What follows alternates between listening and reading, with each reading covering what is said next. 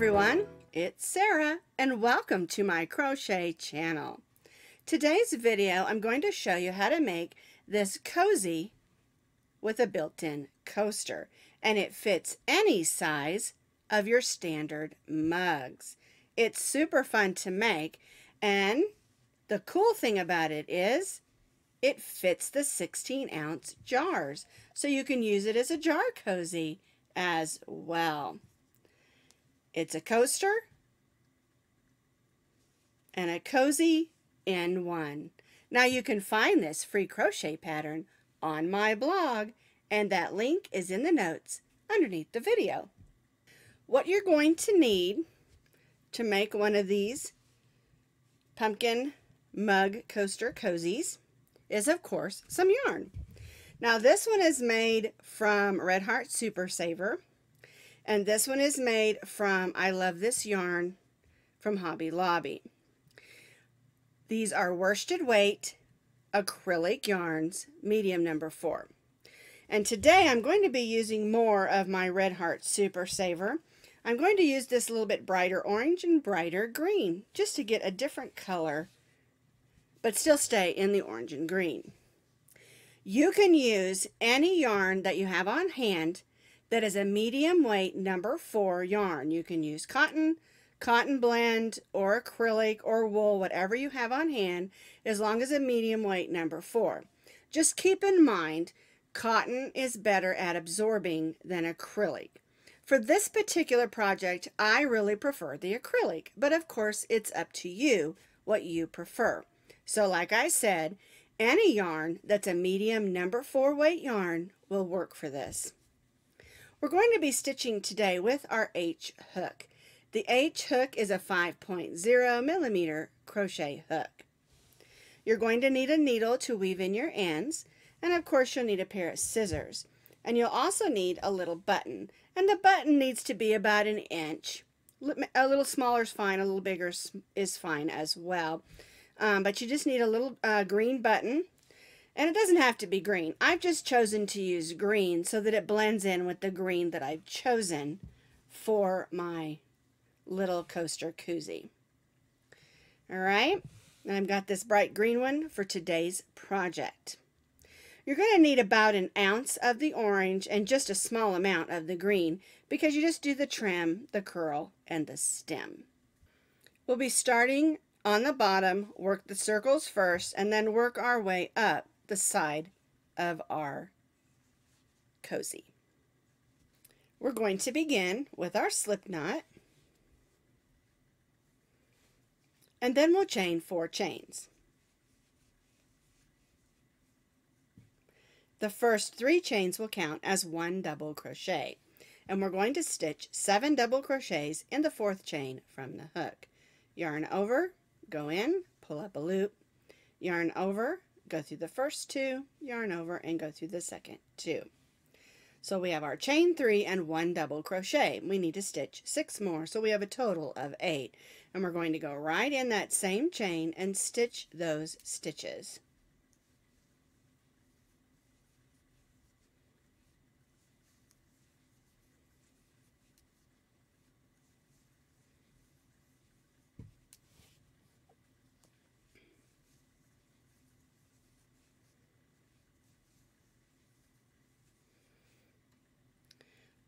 Chain three counts as our first, so one, two, three, four, five, six, seven, eight. We're going to join to the top of that first chain three. Whoops. There we go. Pull up a loop, then pull that loop through the loop on our hook and chain three. There is row number one. For row two, our chain three counts is our first double crochet. We're going to double crochet in that same stitch. And then we're going to place two double crochets in each of the double crochets around.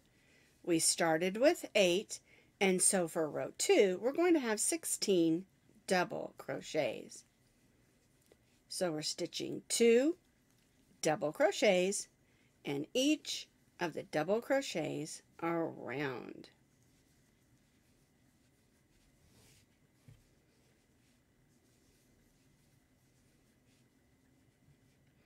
When we complete it, we'll join to our chain three. I completed stitching two double crochets in each stitch around. I joined to my chain three and chained three. And for row three, we're really just going to repeat what we did for row two.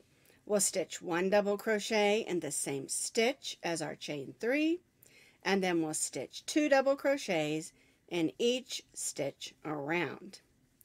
And because we're stitching two in each of those 16 double crochets, for row three, we'll have 32 double crochets.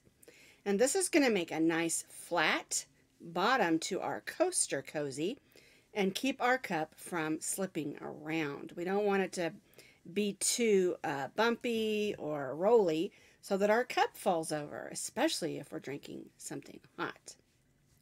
All right, so I'm going to continue around stitching two double crochets in each of the double crochets around and then again I'm going to join to my chain three. I've stitched those 32 stitches. I joined to the top of my chain three and chained three. Now for row four we're going to be stitching one double crochet in each double crochet but we're going to be stitching in the back loops only. So if you look at the top of our stitches, you'll see there's two loops. The loop that's facing you is the front loop. The loop on the back of this, or facing away, is the back loop. And we're going to be stitching one double crochet in each stitch around, working in those back loops only. So yarn over, we'll go in that first back loop, and stitch a double crochet. We won't be adding any more increases. This is as big as we want the bottom of our cozy. All right, so one double crochet in each of the double crochets around, working in the back loop only. And as you work, you should see this line right here. And what that's going to do is it's going to make our coaster sit up better with having that line right there. All right, so for row four, we're stitching one double crochet in each double crochet around, working in the back loops only. I've stitched one double crochet in each stitch around, working in the back loop only, and you should see that line going all the way around and that's the loop that we did not stitch in. When you get to the end and you've stitched your 32nd stitch, do not join. We're going to be forming that opening right here. And so what we're going to be doing is when we get to the end, we're going to chain three, and we're going to be turning. And by turning each row, that's going to cause there to be an opening. All right. So from here on out, for our double crochet rows, we will not be joining. We will be turning. Chain three and turn. So let's do row five. Our double crochet counts as our first double crochet. And we're going to double crochet in the next stitch. And then the next stitch, we're going to do what's called a back post double crochet. We're going to yarn over, and what we're going to do is we're going to go on the other side here, and your post is this portion of your stitch. We normally stitch up here, but we're going to be stitching in the back post. If we stitched this way, it would be the front post. And since we're stitching on the other side, we're going to go around the post on the back. And we just stitch a regular double crochet. We're just sticking it in a different place. And that's going to cause that to stick out a little bit. And that's what causes the ridges on our pumpkin. All right? And the way the repeat will work for this row is one double crochet in the next two stitches and then a back post around the post of the next stitch. Back post, double crochet.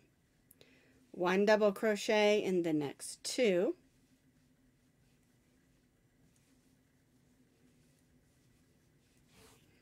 And back post, double crochet around the next post of the next stitch.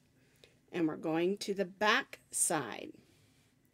All right, let me turn it over so you can see how it looks. There's our ridges being formed. All right, let's do another set together. One double crochet in the next two. One, two, and then one double crochet back post. So we'll double crochet around the back post of the next double crochet stitch. And we'll repeat this working all the way around.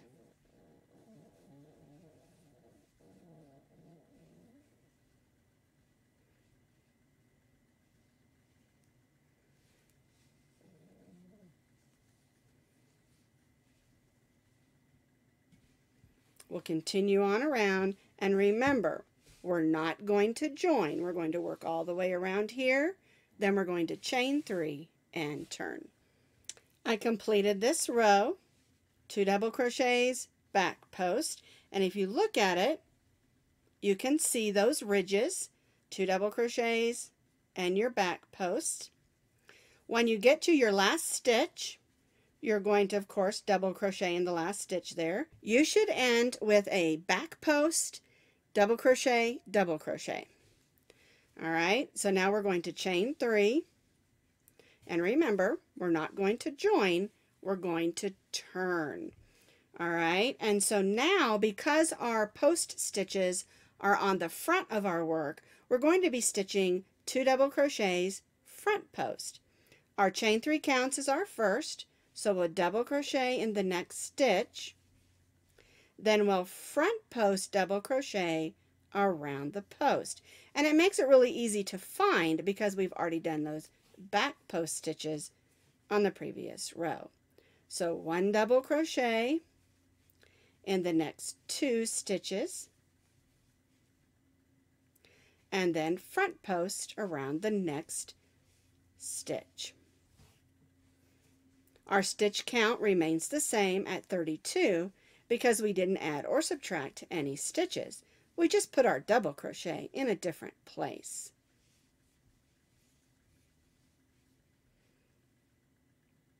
Two double crochets, front post, two double crochets, front post. And it's now called a front post because we're on the front side of our work. When we work on the back side of our work and we're stitching that post stitch, it was called a back post.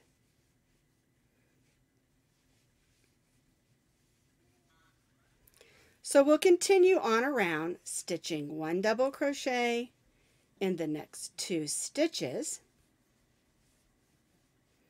and front post double crochet in the next, working all the way around and remember, no joining. I completed that row stitching two double crochets with my front posts in between. Here's my last stitch, those two double crochets my last stitch, chain three, and now we're going to turn. And we're going to repeat what we did on row five. Our chain three counts as our first double crochet. We're going to double crochet in the next stitch, and then we're going to back post around that back post. And again, it's a little easier to find because we're placing our back posts in the front posts of the previous row one double crochet in the next two stitches and then back post around the post of the previous double crochet stitch. And again, our stitch count continues to remain the same at 32 stitches because we aren't adding or subtracting anything. Again, we're just placing our double crochets in a different spot one double crochet in the next two stitches and a back post in the front post from the previous row. There we go. And we'll continue to repeat this all the way around. And again, don't join, chain three and turn.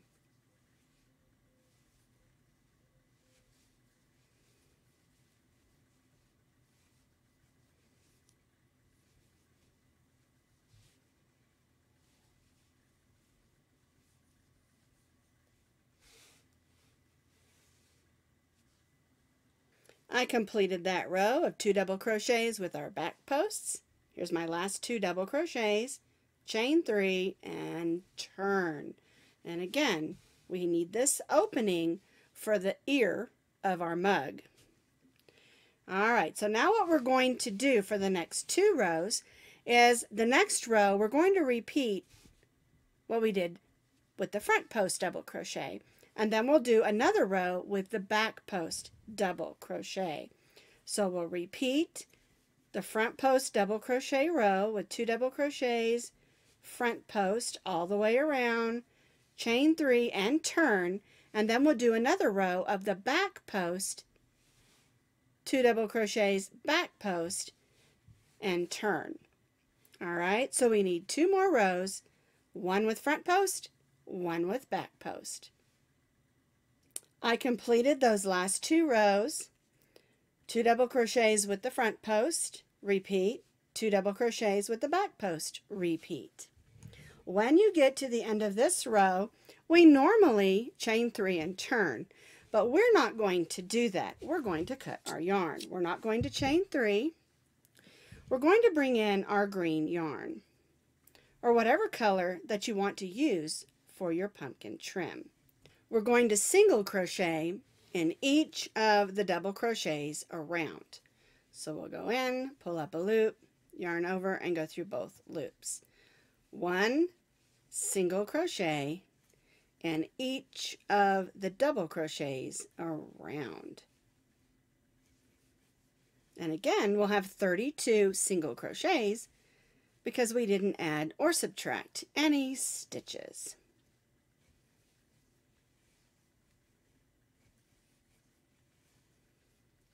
one single crochet in each of the double crochets around. One single crochet in each of the double crochets around.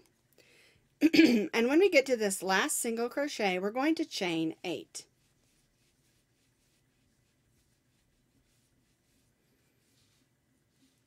And then we're going to join back to that stitch with a slip stitch. And this is going to give us our button loop. There we go. And I'm going to cut my yarn.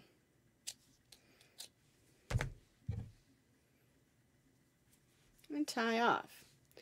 All right, so now I need to just grab my needle and I need to weave these ends in.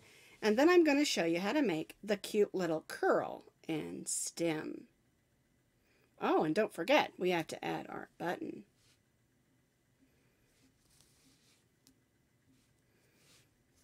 Just going to work back and forth so my button loop doesn't come out. And also being careful not to stitch down into the orange portion so we don't have a little green spot of yarn that looks messy. Alrighty, so here's my button loop.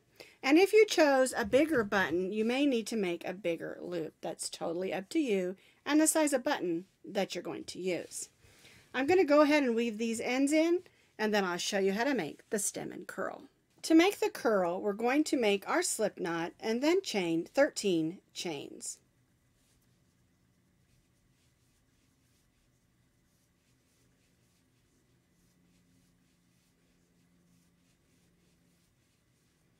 We're going to place three half double crochets in the second chain from the hook. Yarn over, go in that second chain, pull up a loop, yarn over and go through all three. And we'll do that two more times.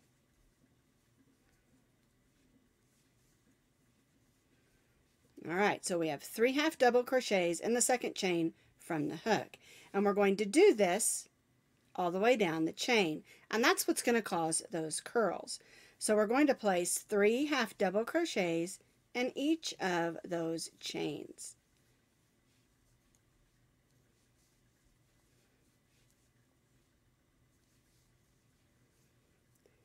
And I'm only on the third chain that we're stitching in and you can already see that it's starting to curl up.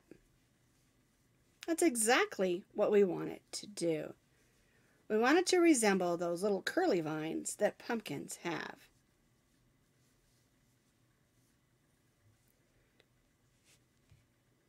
So I'm going to continue working down my chain, stitching three half double crochets in each one of those chains.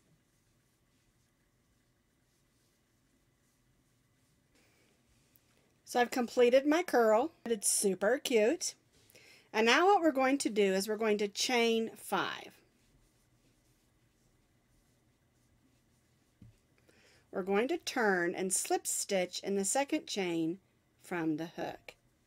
And then we'll slip stitch in each of those chains working back to that curl. So now we have a little stem and we have our curl. We're going to tie off, but we're going to leave ourselves about 10 or 12 inches so that we can sew it onto our pumpkin. All right, so there's my stem and my curl. To attach your stem and curl to your pumpkin, I like to fold it in half with the opening over here and then sew it to this side. All right, so we have two ends. We have where we began and where we ended. We're going to start with the tail that we left where we ended our stem, put it on our needle, and I'm just going to go right in there and I'm going to make sure that I'm going in a stitch, not a hole. Alrighty, so we'll just pull that through and I'll just make a couple of loops and make sure that it's sewed on tight.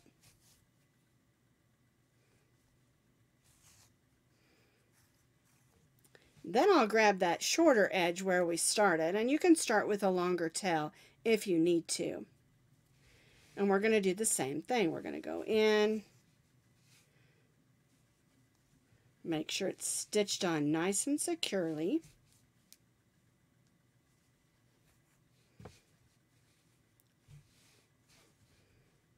And then we'll have to weave these ends in. I'm not going to take the time to weave every bit of it in. I'm just going to show you. Make sure you're going through the green portion of that trim so that it doesn't show through onto the orange, all right? But I'll come back and finish that off later. The last thing we need to do is add our button. I've got a piece of green here all ready to go. I'm going to put it on my needle. There we go. We want to line this up. And if you're making this for a specific cup, it might be a more narrow or a bigger cup, is where you line up your button. I'm just doing the basic one. And if you set it right here, it should line up perfectly all right, so what we're going to do, we're going to set it here. Again, make sure you're going to go through some stitches. And I like to go in, I like to go back out and sort of make a loop so my thread stays put. And this one has sideways holes for it, so we're going to do that. And this is going to get a little bit of wear and tear, so make sure you give it a lot of stitches. I like to do three or four when I'm using yarn. Or until I can't get my yarn needle through the holes anymore. All right, so then we're going to take those ends and we're going to tie a knot. And again, I've said this many times, when you're tying a knot to hold on a button, you can add a little dab of fabric glue, and that will help. And fabric glue is great on yarn because yarn is a fabric. And also, it goes through the wash really well. If you put a little dab of hot glue on there, and then you put a hot drink in a hot cup and set it against that, it's going to get sticky and tacky. and we don't want that. All right, so here is the way it looks. Here's our curl and our stem, and here's where our handle goes. This is the pumpkin coaster mug cozy that we just made with the bright orange, green button, and bright curl and stem. This is the one with the rust, and this is the one with the golden yarn. So you can make these in lots of different colors, muted or bright. They're all fun to make, and they're perfect for a fall or Thanksgiving time get together. Put some hot cider, some hot cocoa, or a big mug of steaming hot coffee.